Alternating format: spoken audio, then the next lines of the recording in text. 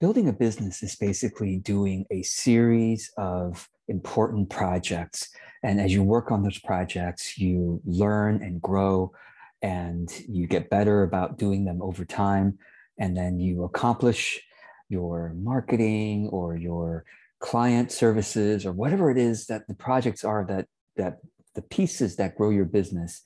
But what I've noticed a lot is that people simply don't work on those projects or they work on those projects in fits and starts and maybe they even scheduled at some kind of event or program and they work on the, the, the program kind of in a last minute way. And so it's stressful.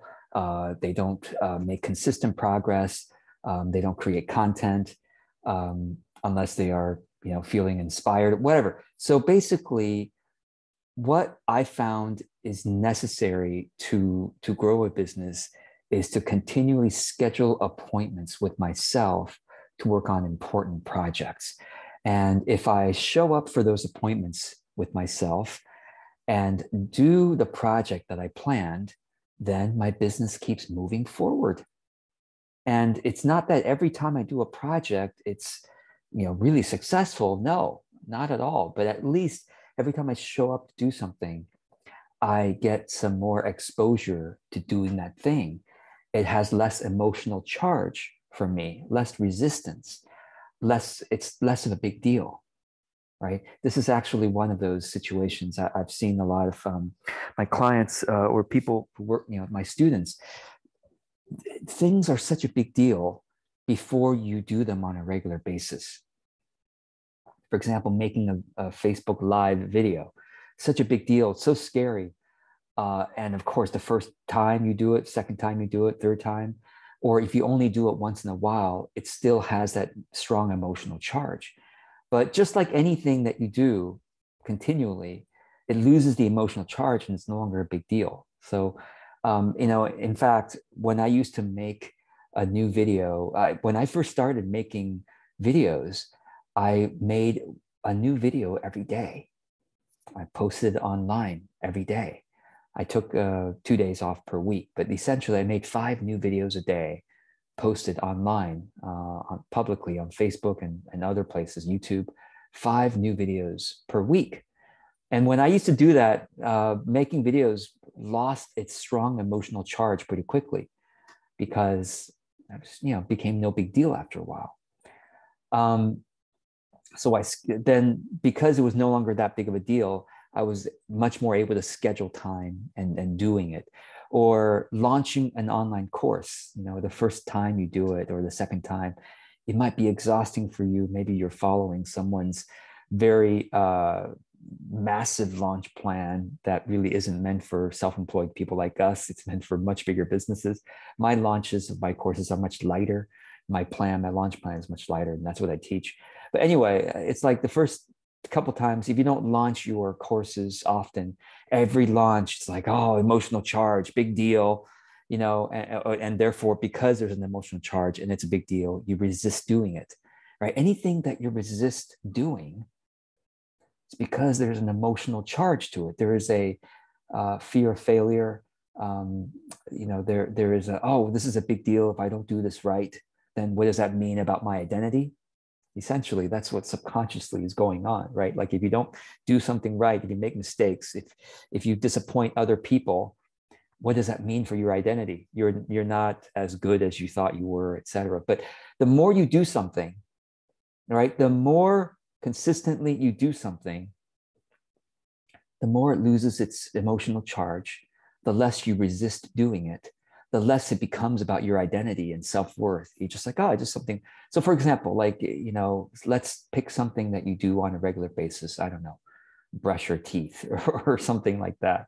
Take a shower. I don't know. Like if you if you brush your teeth and you don't do it perfectly one day do you like oh something about my self-worth. No it's just like oh whatever. I'm tired today. I didn't brush my teeth that well. Whatever right? It, it's it's no big deal for you anymore. So so you've got to make the, the you've got to make it like that for every other thing in your business, whether it's making content, whether it's writing, making videos, uh, launching courses, announcing your services, writing a sales page, um, contacting prospective clients or contacting people to interview you on their podcast, whatever it is you, you do, you just have to do it consistently so that's no longer a big deal. And the way I do it consistently is, is by I schedule appointments with myself to do these different pieces in my business. So let's talk about keeping appointments with yourself to work on those projects. Okay, so uh, there are typically two things that happen. Again, when something has strong emotional charge for you, you're resisting it, you are fear failure, it's connected to your self worth, you know, all those things that are natural until you get exposed to it many, many times. Um, two things happen. You, you schedule to do the project and you don't show up for your appointment with yourself. You don't, you either don't show up with the appointment or if you use something like FocusMate and you scheduled with somebody else to work, you show up for the FocusMate appointment, but you still don't work, you, you still don't work on that thing that's that you planned to do. So basically, when you don't work on the thing you planned to do, there are two basic reactions. One is you ignore the fact that you just skipped the appointment with yourself or didn't do the thing you planned. You ignore the fact. And secondly, you blame yourself, um, maybe even self punish for not following your plans. And neither of these are good responses. Neither of these are healthy and helpful for your self confidence uh, and for your future appointments with yourself. So let's talk about let's talk about each of these. Okay.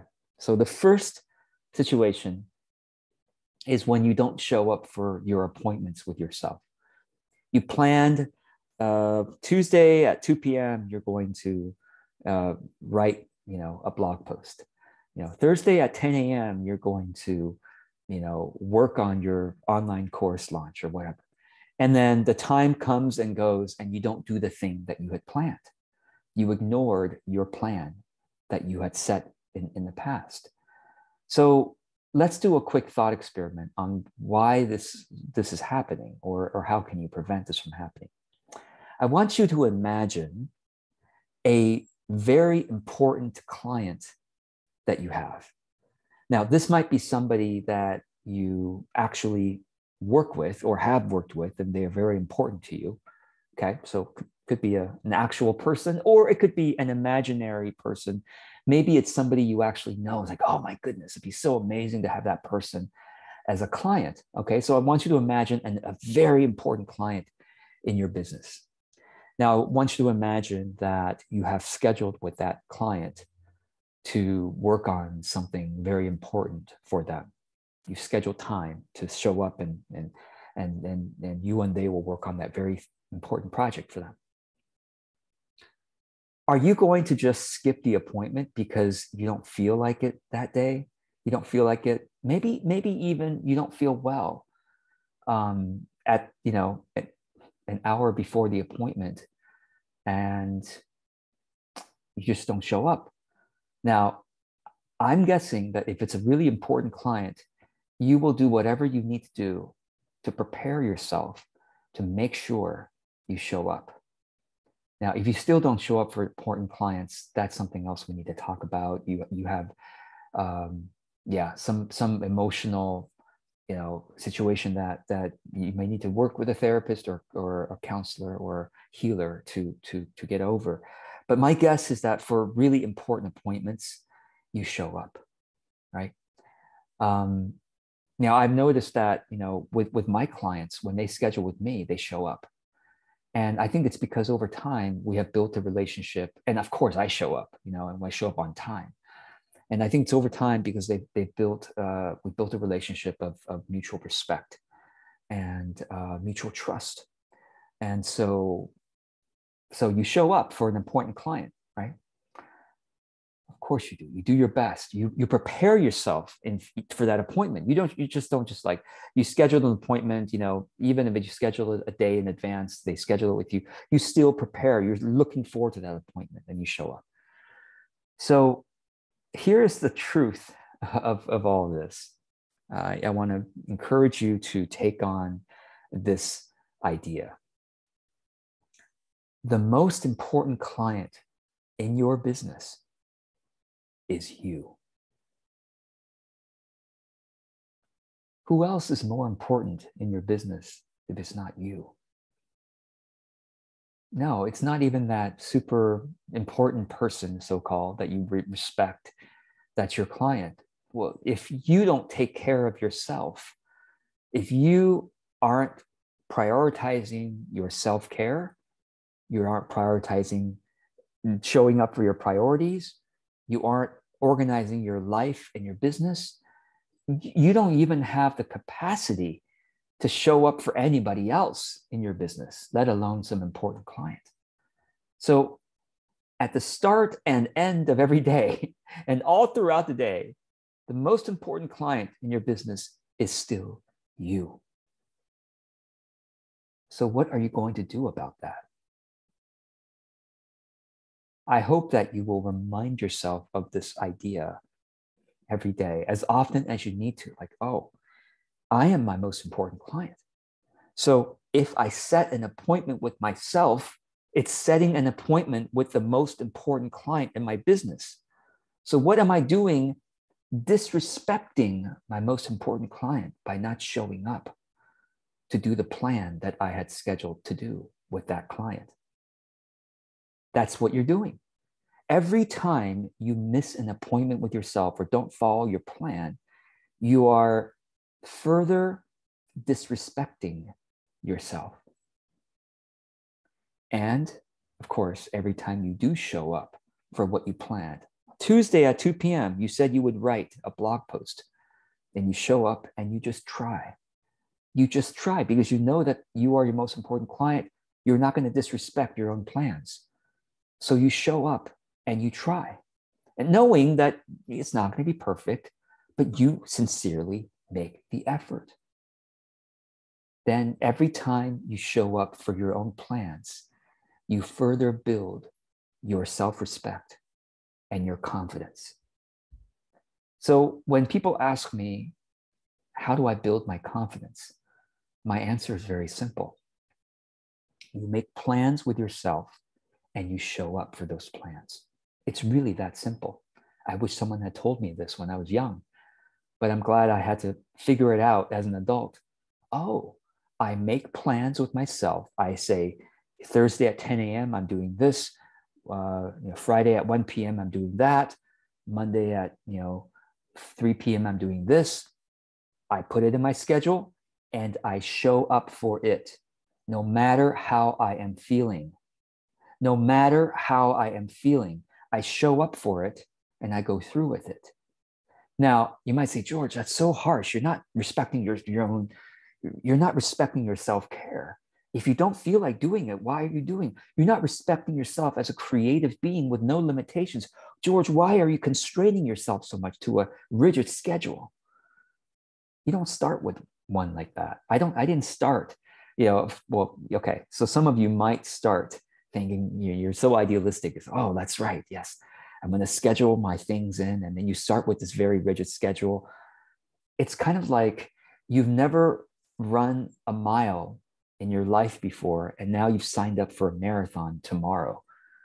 of course, you're going to harm yourself. Great. You're going to, you're going to injure yourself and you're going to fail, crash and burn and, and you know, really uh, disappoint yourself.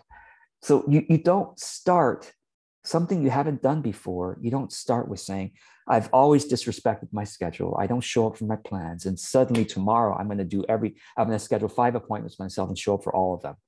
I mean, you could, but you'll probably burn out really quickly. So doing this requires easing into it, just like with any other skill. Um, you don't expect so much of yourself when you are at zero. You don't go to 60 you know, in, in one second if you don't have the capacity to do so. So this is my recommendation. Again, to build self-confidence, you make plans with yourself and you show up for it. But because you're not used to doing that, perhaps if you aren't, then you need to do it gradually. To say, okay, let me set one appointment with myself. I'm my most important client and my clients usually schedule one appointment per week or whatever. So let me set one important appointment with myself this week. okay, or or tomorrow or, or each day. I mean, depending on how how much you want to to you know or, you know try this for. But even just one appointment each week, you set it, you show up for it, you do it no matter how you are feeling. Just like an important client, your important client, okay, fine. For an important point client, they might, uh, you know, be okay if you had to reschedule last minute to say, "Oh my gosh, I'm so sorry, I'm so sorry, but I really uh, am feeling terrible right now, and I can't meet with you." So let's play that same thought experiment. If an important client uh, you know said that to you let's flip it around let's say that let's say that you are the client and someone was a service provider and they said oh, i'm so sorry. I can't meet with you today because i am really not feeling well or i had there was an emergency with my child and and and and, and or family member or, and i really i'm so sorry. I can't sh- show up for you. I will make up for it. I will do whatever needed to make up for it. Now, you as the important, you as a client, do you berate the service provider and say, no, you're, you're terrible. You're, well, hopefully you, you won't. And you probably, you know, as somebody who is in my audience, you are a kind and, and thoughtful person, caring person. You wouldn't berate somebody for, for sincerely apologizing and having a good reason why they can't show up for the appointment, assuming they don't do it all the time, right? Because if, if, if you the, the service provider continually cancels or reschedules and you're like yeah I, am not sure i want to work with that person so maybe once is okay and the same thing with you when you when you when you have an appointment with yourself right you you prepare you do whatever you can do whatever you need to emotionally and logistically to show up for it and once in a long while of course you can say i'm so sorry i can't show up for this right now it's a unique situation, but it's not going to be. It, usually, I will, and I and I promise I will. But this time, there's something very odd. Okay, that's fine. But to do that again and again and again is greatly disrespectful to your most important client, which is you. And no wonder you don't trust yourself. You know when that when when you continually do this. Now, again, let me talk about that second um, re- common reaction to not following your plans, which is self punishment, self blame. Like I said, if a, a service provider that you care about and respect um, needed to cancel with a good reason, only once in a while, but usually they show up just fine on time and ready, then you say, okay, you know what? Don't worry about it. It's okay. I'm so sorry. I hope you're doing you're going to do well. You would show compassion to that person, wouldn't you? Or let's let's just even say one of your clients that you sh- that you scheduled with had to cancel you would show compassion to the client wouldn't you as long as it wasn't a common situation as long as most of the time they show up you would show compassion wouldn't you? Yes of course you would. So show that same compassion to yourself because you are your most important client. You are your most important client. So show that compassion to yourself when you don't show up for your own plans. Remembering that if you keep not showing up for your own plans, then you are trying to do to run a marathon before you've even been able to run a mile. So you need to schedule fewer appointments with yourself. So to recap, this is how we build confidence, self-trust, empowerment, authentic power within ourselves. I mean, my life has changed. I mean, I am a different person than when I was, than, than who I was even, gosh, I would say five years ago. Certainly, I was, I'm a different person than 10 years ago when I did not show up for my appointments with myself.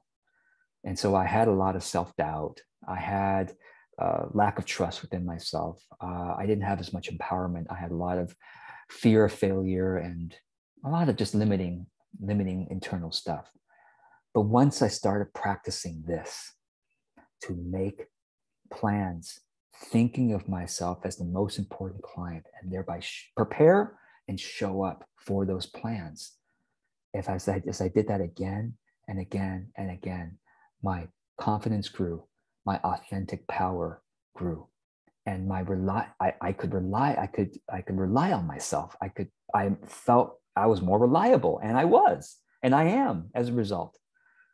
And that's and and your confidence and your self-reliability will show itself naturally in the outside world, and others will treat you with respect. So this is really, I mean, a lot of people say, George, how are you able to have an audience that respects you, that uh, trusts you? It begins with self trust.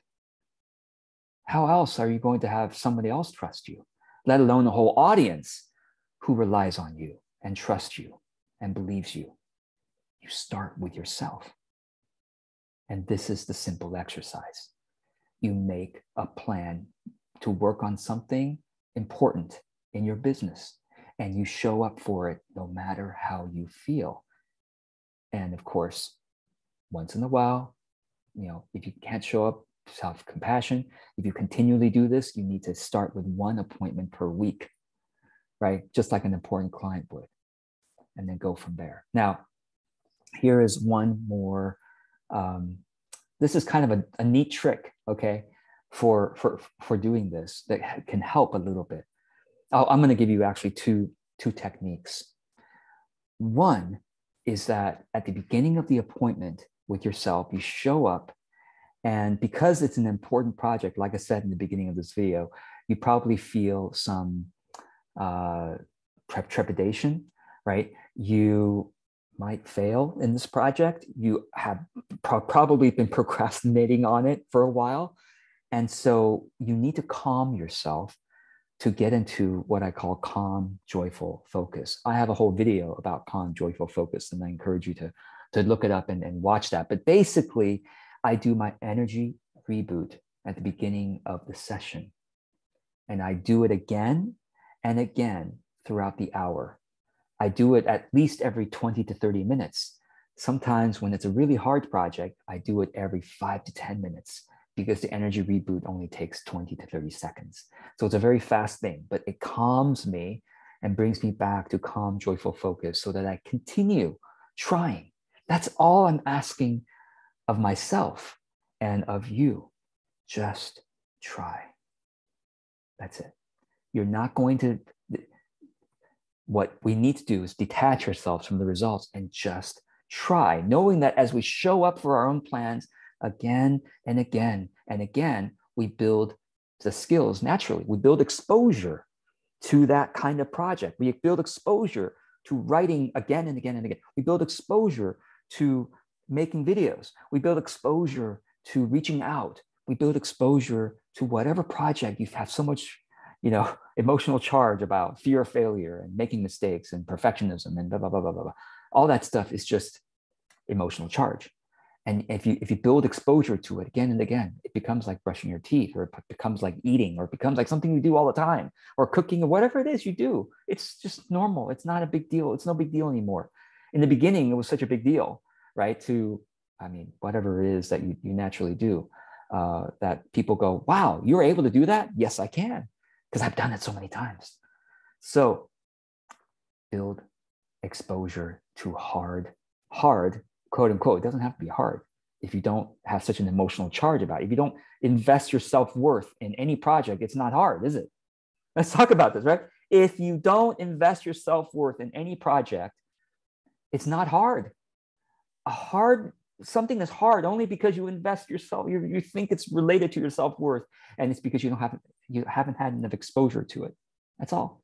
So make plans with yourself to do important things and then show up for those plans.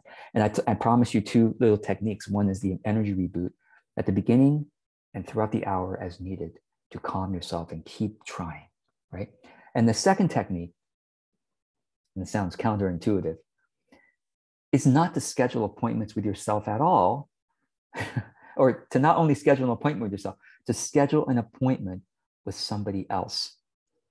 I alluded to this earlier in the video, which is FocusMate. I use that multiple times. Now. Uh, you know, if you if you ever find me on FocusMate, you'll see that I have over 3,000 sessions that I've booked. That's over the past couple of years. So I literally use FocusMate throughout the entire day. If I'm not making a video like this, if I'm not in a meeting, if I'm not in a group teaching session, if I'm not taking a break, I am on FocusMate during my working day. So I use FocusMate between three to six hours every day, Monday through Saturday, and even two hours on a Sunday. So I use FocusMate so much because I realized, okay, it's easier for me to show up for my appointments for myself when somebody else is also counting on me to show up. So this is why I talk so much about Focus Mate. I love it. It has been eh, incredibly helpful for me to show up for my own appointments with myself. So I hope this has been inspiring for you. You are your most important client. Treat yourself with respect and with compassion and with thoughtfulness when you make plans with yourself. But please do make plans to work on important things at a specific time and day, and then show up for those plans. And by doing so, you build self trust and confidence. I wish you well. I look forward to uh, seeing if you have any updates as you try this out. Or if you have any questions, you can always comment below, and I look forward to seeing what those are as well. All right. And if you also, if you have any other tips and ideas, what works for you to get important projects done that were previously intimidating, that doesn't come naturally for you to do, what works for you? And I if you comment below, I'm sure others will appreciate that as well. I wish you well and see you in the next video. Take care.